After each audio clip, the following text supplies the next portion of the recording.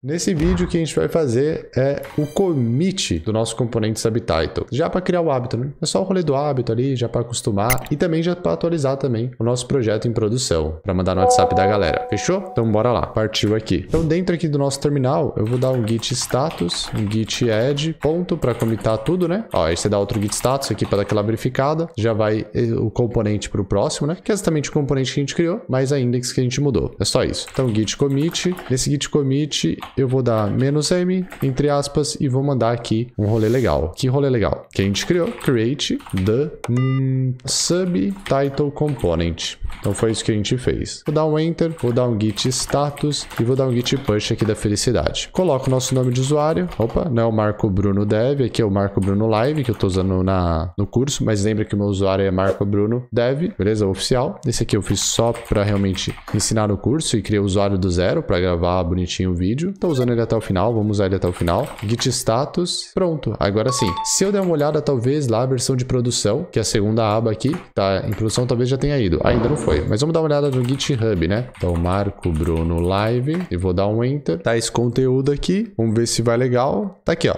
Create the component, the subtitle component. Então já foi criado, tá vendo? Então já tá lá, é só o tempinho para atualizar que demora um pouquinho aqui mesmo, é normal. Isso quando demora, mas depois vai estar tá atualizado aí. Top? Então é isso que eu queria fazer nesse vídeo. Valeu, obrigado e bora pro próximo.